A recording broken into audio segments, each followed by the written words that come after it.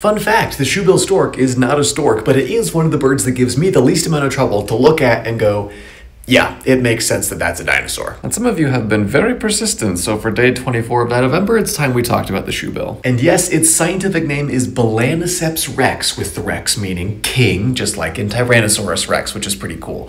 But the genus name Balaeniceps means whale head, which, I don't know, kind of rude. Also, if it's not really a stork, then what is it? Well, it's a spoonbill. It's kind of its own thing, but the group of birds that it falls in is the pelecaniforms, which includes pelicans and herons and spoonbills and ibises and things. But what's funny is that even inside this group, even though it might look or behave more like a heron or a spoonbill, is actually more closely related to the pelicans themselves. But you know what I realized for the first time while researching for this video is that what spoonbills really look like is the evil version of this guy from one of the all-time best Pixar shorts, For the Birds. Shoebills typically grow like three and a half or four and a half feet tall, which is quite a tall bird, but they only weigh like 12 pounds which sounds crazy, but birds have really lightweight bones and they're mostly feathers anyway. And yes, in fact, it can fly, and having a head that looks like an alligator's head or something, it looks totally unnatural, like a mythical creature or something. Also,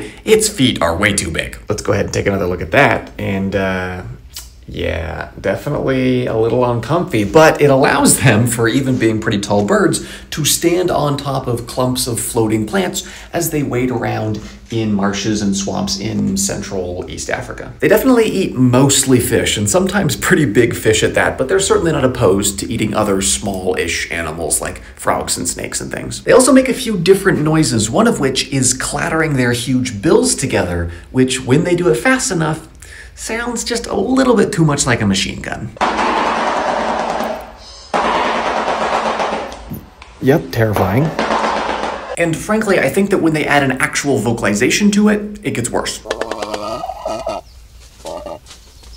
Yeah, no. No, I don't like it. But for all of their intimidating dinosaurian qualities, they seem to be not dangerous to humans in the slightest. In fact, the University of Michigan's animaldiversity.org says that they are very docile with humans. And with that, we have officially less than a week left of Dinovember, and I'm running out of time to talk about all of your fantastic requests. But if there's any dinosaurs you're still dying to learn about, of course let me know. I can always cover them later.